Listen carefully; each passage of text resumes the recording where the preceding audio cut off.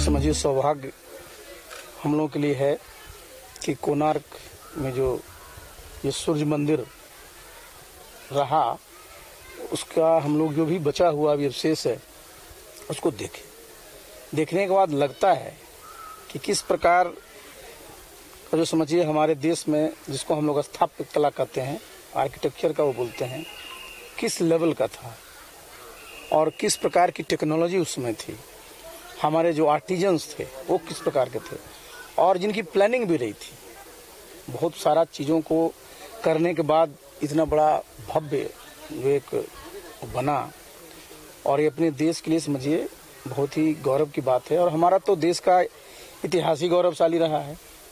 और यहाँ करके और अच्छा लगा। और जो जिस प्रकार का मटेरियल देखिए यूज़ हुआ है, कोई पत्थर नहीं है। इसमें कोई न कोई किसी प्रकार की मूर्त उसमें जो है कार्विंग नहीं की गई।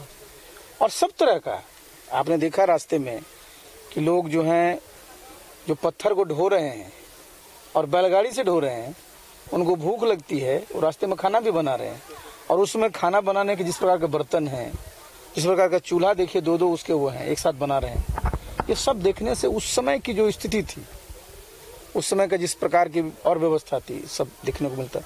और सबसे अच्छी बात आपने देखा कि जहाँ जहाँ भी है उसमें जो जुड़ाई होती थी, आज आपका सीमेंट है, आज आप ढलाई करते हैं, उसमें अगर आप देखिए तो उसमें भी जो एक जगह दिखाया गया है कि उसका जो है लोहे से उनकी जुड़ाई हुई है। तो लोहे का जो प्रयोग है उस समय भी हुआ करता था, और जो लोहे की क्वालिटी है, उसकी जो मेटलर्जिकल क्वालिटी है, वो रियली बिल्कुल समझिए, समझ से परे है। इसलिए मैं तो हमेशा जब जहाँ जाता हूँ, और मैं इस तरह के जहाँ भी मैं लोहे की चीज़ों को देखता हूँ तो मेरी इच्छा रहती है और मैं ए से अनुरोध करूँगा मैं फॉर्मल चिट्ठी भी उनको लिखूँगा कि जिस प्रकार के स्टील इसमें यूज़ हुआ है। और अभी आप देख रहे हैं जो हमारे पास बाहर स्टील रखे हुए हैं कि इसकी मेटेलरिकल क्वालिटी क्या थी?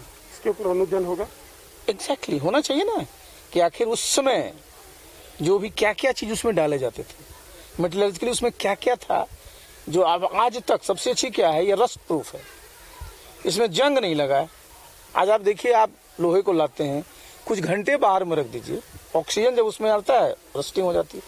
तो उस समय भी जो हमारे यहाँ, जो समझिए कि मेटलर्जी की क्वालिटी थी, निश्चित रूप से बहुत अच्छी रही होगी।